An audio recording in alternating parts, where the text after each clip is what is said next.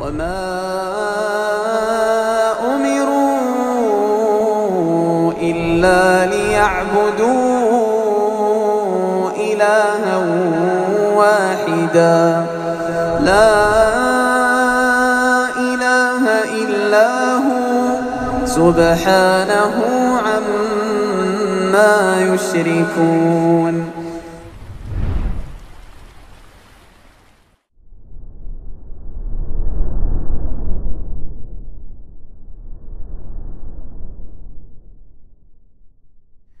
Bismillahirrahmanirrahim. Alhamdulillahi rabbil alamin wassalatu wassalamu ala sayyidil mursalin wa ala alihi wa sahbihi ajma'in. Allahumma 'allimna ma yanfa'una wanfa'na bima 'allamtana wa zidna 'ilma bikaramika ya rabbal alamin. Kita lanjutkan kajian kitab Usulun fit Tafsir. Di pembahasan umumul lafzi wa khususus sababi. Di pembahasan keumuman lafal dan kekhususan sabab. Jadi di, ayat Al-Qur'an di, dalam Al-Qur'an banyak ayat-ayat yang lafalnya umum tapi sebabnya khusus. Makanya ada namanya sebabun nuzul. Bahkan dalam satu ayat boleh jadi ada empat versi sababun nuzul. Jadi sebabnya khusus. Permasalahannya adalah ini juga permasalahan usul fikih. Apakah kalau misalnya kita menemukan ayat yang lafalnya umum tapi sebabnya khusus, itu apakah konsekuensinya hukum di ayat tersebut hanya bergulir pada sebab tersebut yaitu zaman itu atau juga bergulir hukum tersebut untuk kita sebagai umatnya Nabi Muhammad? Nah itu pertanyaan. Ya, jadi apakah hukumnya hanya berlaku pada orang yang ada di sababun nuzul atau hukumnya juga berlaku untuk kita umat Muhammad yang membaca Quran dan mempelajari Al-Quran ini? Ya. Maka jawabannya kata Syekh Utsaimin rahimahullah "Idza nazalatil ayatu li sababin khassin wa lafdhuha 'am." Jika ayat turun dengan sebab khusus. Tapi lafalnya umum. Lafalnya umum, nggak menyebutkan pihak nggak menyebutkan nama atau sebutan pihak-pihak yang menjadi penyebab ayat ini turun. Jadi lafalnya umum. Maka bagaimana hukumnya? Kana hukmuha syamilan li sababiha wa likulli ma yatanawaluhu lafdhuha maka hukumnya mencakup dua dua mencakup dua yaitu pertama mencakup sebabnya. Wa likulli ma yatanawaluhu lafdhuha dan mencakup segala yang terkandung dalam lafal itu. Segala yang terkandung dalam lafal itu. Aku kasih contoh. Misalnya Alwi membeli ricis. Ini hokben beneran ini. Hah? Oh, kebuli hokben. Alwi beli ricis. Ya. Baik banget beliau, Masya Allah. Kayak ini kisah aja kan, nggak kenyataan kan. Kok kenyataan ini guncang ini. Masya Allah bericis buat kita semua ya, makan yang yang yang yang ngaji sini. Kemudian gara-gara peristiwa Alwi membeli ricis ini, anak pun kemudian bersyukur dan senang sampai anak mengatakan, Sesungguhnya Allah menyayangi orang-orang yang berbuat baik. Gimana Alwi? Ah. Ini kan konteksnya khusus ya. Sebabnya ini Alwi nih. Karena kebaikan dia. Baik. Tapi lafal yang anda omongin nggak ada nggak ada tulisan Alwi, nggak ada apa? Sesungguhnya Allah mencintai orang-orang yang berbuat baik dah. Umum enggak? Baik. Maka lafal di kaidah, kaidah di lafal yang anak ucapkan itu mencakup alwi dan mencakup orang lain siapa pun yang berbuat baik. Misalnya ada yang beli lemper kemudian ditaruh di pos satpam buat para satpam. Masuk nggak lafalannya masuk ke mereka juga nggak? Iya. Itu maksudnya. Ya. Jadi ini yang disebut apa? Umumul lafzi wa khususus sabab. Lafalnya umum, tapi sebabnya tertentu khusus gitu loh. Nah, di Al-Quran tuh banyak kayak gitu. Hadis juga. Ya. Maka kalau kita menemukan ayat atau hadis seperti itu, bagaimana kemudian kita memahami konsekuensinya? Apakah ayat itu hanya terwujudkan hukumnya pada sebab tersebut saja, di kejadian tersebut saja, atau juga hukumnya kita terapkan untuk sekarang gitu loh. Ya. Untuk sekarang. Ini akan disebut contohnya kok. Ya. Dan sekaligus kita belajar suatu fikih nanti insya Allah di sini contohnya. Lianna al-Qur'ana nazala tashri'an 'amman li jami'il ummah karena Al-Quran turun sebagai pensyariatan yang bersifat umum untuk seluruh umat. Maksudnya seluruh umat di sini, umatnya dakwah Nabi, mencakup umat Islam, Nasrani, Yahudi, selainnya. Dan mereka sebenarnya wajib berhukum dengan hukum syariat Islam, syariat Al-Quran. Fakanatil ibratu bi'umumi lafzihi la bi khususi sababih. Maka ibrahnya adalah dengan keumuman lafalnya bukan dengan kekhususan sebabnya ini salah satu kaidah usul fikih al-ibratu bi'umumil lafzi la bi khususis sabab ibrahnya adalah dengan keumuman lafal bukan dengan kekhususan sabab antum perlu tahu sebabnya boleh tahu tetapi jangan berpatuk pada sebab itu saja karena hukum yang ada di lafal umum ini melebar untuk seluruh Uh, umat saat ini. Begitu ya. Misal dzalika, misal ayatul li'an, ayat ayat tentang li'an di surat An-Nur. Ya, ini kita belajar sedikit tentang li'an ya, kon. Sebenarnya kita nggak belajar fikih tapi ya karena konteksnya fikih, ayat fikih ya udah. Apa itu li'an?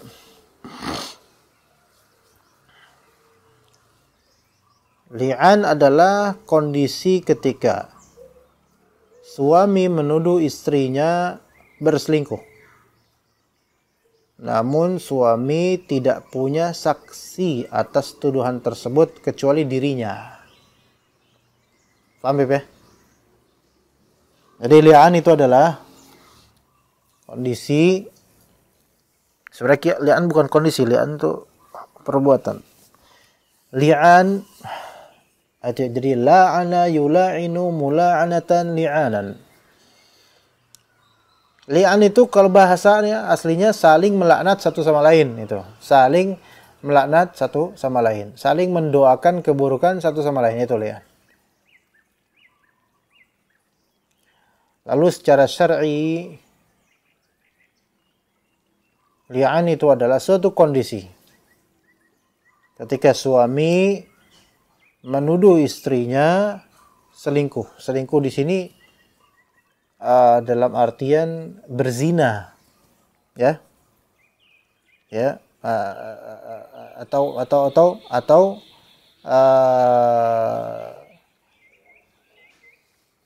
atau istri ini kegep, apa ya bahasa kita? Kegep, kegep, tawan ya. Kegep lagi berduaan sama pria non mahram. Dan dalam keadaan baik naudzubillah min dzalik lagi berzina atau dalam keadaan yang persangkaan kuatnya menuju atau pernah berzina gitu. Gimana ya anak? Naudzubillah anak jangan sampai kita ngalahin hal ini. Ah, misalnya ah, uh, ngegap istrinya lagi di hotel sama pria lain Enggak, enggak, enggak, enggak, dalam kondisi, enggak lagi berzina, enggak, tapi tapi ngapain coba? Hah? dinas kerja enggak eh, ente ngapain di sini Ant anti ngapain di sini wallahu alam cuma menuduh berzina. Cuma suami ini tidak memiliki empat saksi. Kan menuduh berzina itu wajib punya empat saksi. Ya arba'ati syuhada ya harusnya. Maka karena ini suaminya resmi maka dia uh, diberi hukum li'an ya hukum li'an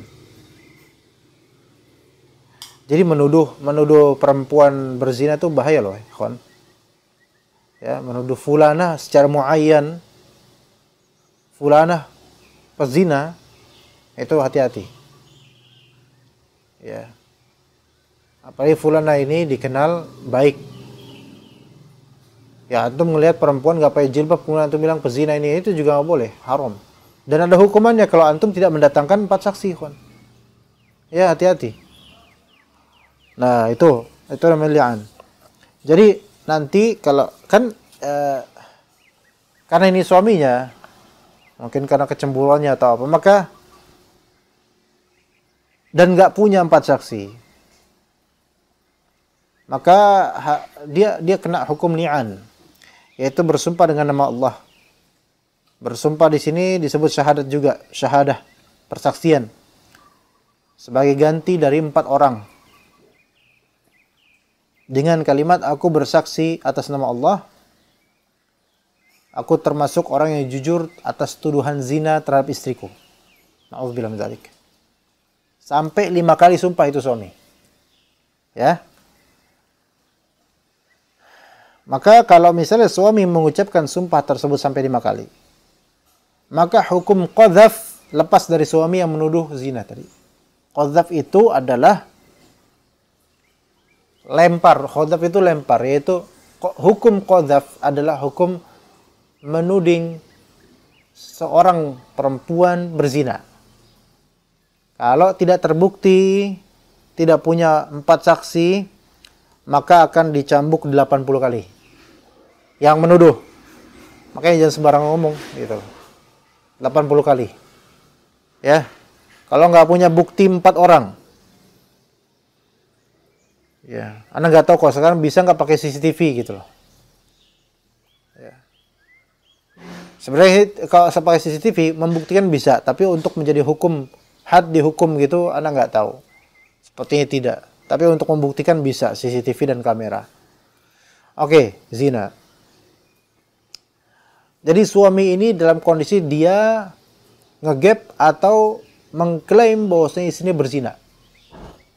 Berzina ya, bukan istri bukan sebatas ngomong istri saya suka cekakak cekiki sama pria lain. Itu itu enggak, itu itu bukan enggak enggak seberat ini enggak. Tapi bilang istri saya berzina. Misalnya bilangin auzubillah min karena cuma nyontohin saja. Ya, maka ini suami dalam kondisi terancam dan dia kan nggak punya empat saksi kan? Imma dia doang saksinya atau pakai kamera atau apa? Maka suami ini dalam kondisi terancam terkena hukum qadhaf namanya. Yaitu 80 kali cambukan kalau dia bohong atau salah. Paham di sini, paham ya? Ah. Nah, dan si perempuan istrinya dalam kondisi tertuduh berzina. Maka bagaimana solusinya? Solusinya hukum li'an. Suami dalam kondisi terancam terkena qazaf, istri dalam kondisi terancam terkena hukuman had zina. Nah, kalau istri pengen selamat dari hukuman had zina, istri ini kan tertuding apa berzina. Jadi ada uh, terancam terkena hukum had zina. Tergantung istrinya ini ya. Istrinya muhsan atau gair muhsan? Kalau misalnya istrinya muhsan artinya pernah udah pernah berhubungan jima kepada suaminya maka dia muhsan. Maka kalau maka istri ini terancam terkena hukum rajam sampai mati. Tapi kalau istrinya yang tertuduh ini ghairu muhsan artinya belum pernah berhubungan jima kepada suaminya, maka istri ini akan di deras 100 kali cambukan. Faham gak ikhwan sini? Tafsilnya. Ada, ada misalnya pasal suami istri baru nikah nih. Akad nikah. Nah, uh, dah nikah. Tapi istrinya ini masih menaruh hati ke pria lainnya karena pacar lamanya gitu misalnya. Qadarullah. Ya, na'udzubillah min. Maka istrinya ini masih berhubungan sama mantan. Maksudnya bukan mantan mungkin bagi dia. Dan suaminya ini kemudian mengklaim bahwasanya ini belum diapa-apain pada udah nikah mereka nih. Belum diapa-apain sama suaminya. Malam pertama kan capek. Karena satu hari nikah apa capek lah pokoknya. Ya. Besoknya masih capek tapi istrinya kemudian besok siangnya malah ketemuan sama mantannya. Pokoknya ala kulihal suaminya kemudian mengklaim istri saya berzina. Saya belum ngapa-ngapain dia dan dia sudah berzina. Maka di sini kalimat ini berat nih kalau sampai ke hakim. Maka hakim menerapkan syariat li'an. Karena kamu wahai suami mengklaim seperti itu dan istrimu belum kamu apa-apain maka kamu wahai suami dalam kondisi terancam terkena hukum qadhaf namanya yaitu 80 kali cambukan karena kamu tidak mempunyai empat saksi. Paham? Sedangkan kamu wahai istri, kamu tertuduh berzina dan kamu terancam karena kamu belum diapa-apain sama suami, maka terancam apa?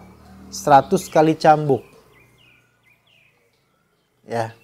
Ya ini terancam 80 cambukan ini terancam. Nah, biasanya yang istri ini mau nggak kemudian udah nggak apa-apa cambuk saya aja nggak nggak apa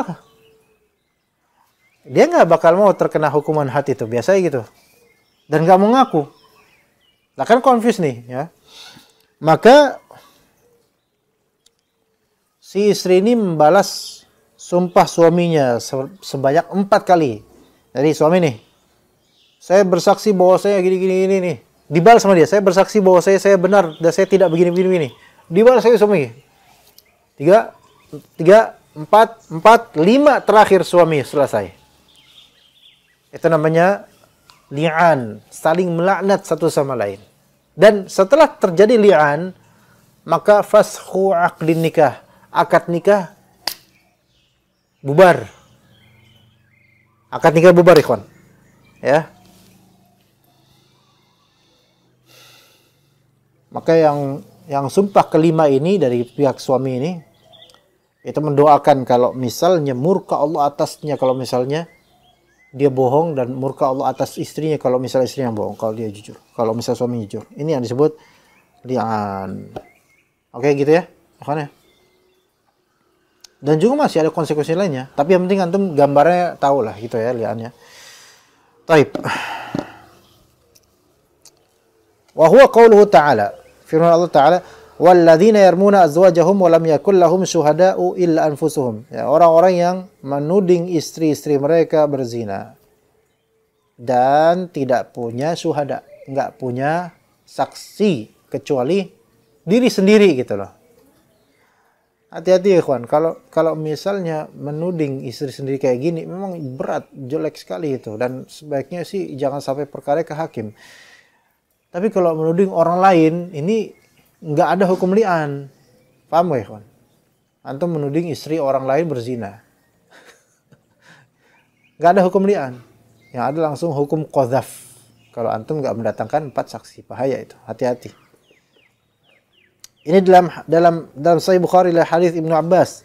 Anna Hilal bin Umayyah qadhafa imra'atahu 'inda Nabi sallallahu alaihi wasallam bi Syarik bin Sahma bahwasanya Hilal bahwasanya Hilal bin Umayyah menuding istrinya selingkuh, berzina.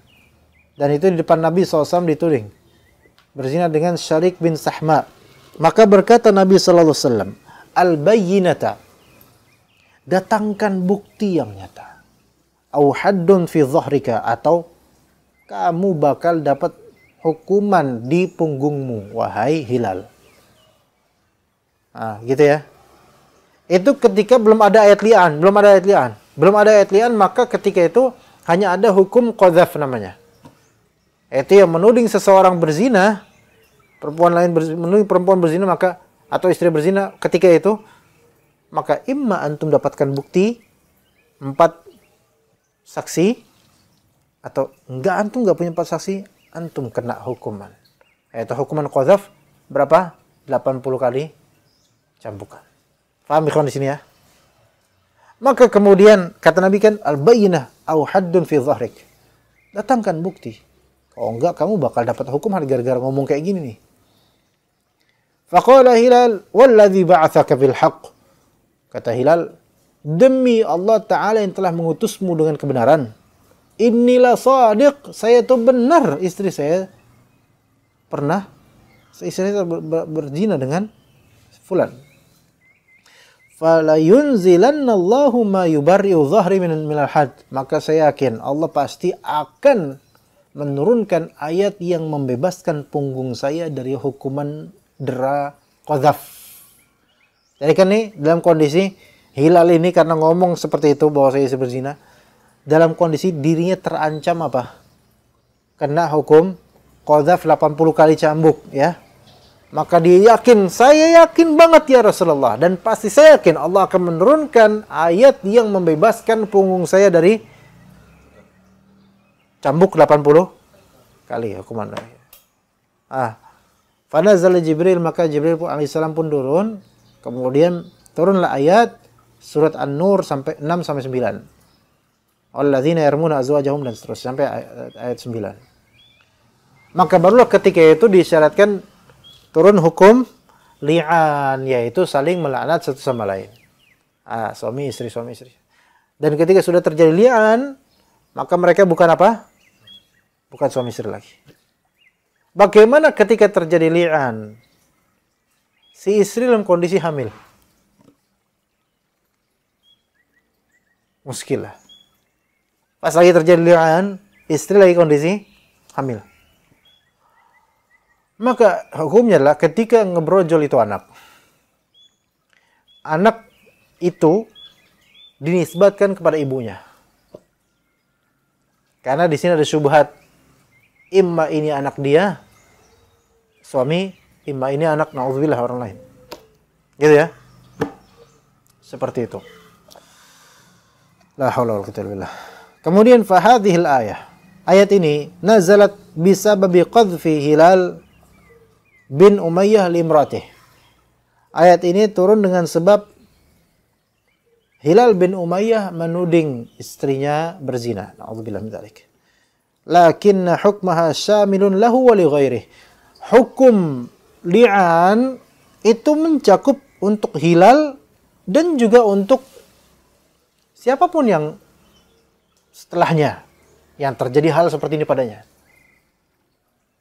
Ya, apa dalilnya? Kok kok kok yang lain juga kena hukumnya kalau misal terjadi? Marwah Bukhari min hadis Sahal bin Sa'ad. Dalam riwayat Bukhari dari hadis Sahal, Sahal bin Sa'ad anna Umairan al-Ajlani. Bahwa saya Umair al-Ajlani. Ada sahabat namanya Umair. Ah, afan astagfirullah Uwaimir namanya. Uwaimir. Uwaimir al-Ajlani jaa ila Nabi sallallahu alaihi wasallam. Umair al-Ajlani datang kepada Nabi sallallahu alaihi wasallam. Maka berkata kemudian jadi Umair, um, Uwaimir al-Jani. Ya Rasulullah, wahai Rasulullah. Rajulun wajada ma'am ra'atihi rajulan. Ayaqtuluhu fayaqtulunah am kaifa yasna. Ya Rasulullah, ada seorang pria, ini sebaiknya sih kalau kita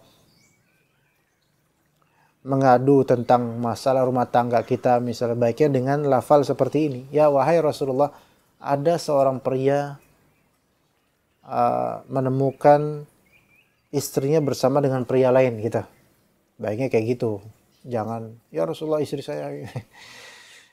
Tapi gak sama hakim boleh seperti itu. Cuma kalau mau Ustaz jangan gitu. Habib ya. Yakin ya? Kim bilang, istri, eh Ustaz istri anak kayak gini. Enggak, jangan bilang gitu. Bilang dengan siwah lain, walaupun anda tahu itu istri antum yang kayak gitu kelakuannya. Tapi jangan ngomong kayak gitu. Apa di depan jemaah lagi. Di kajian umum lagi. Ustaz istri saya kayak gini, Ustaz. Wah, istri ada di balik tirai lagi. Ngamuk itu langsung, kesurupan langsung.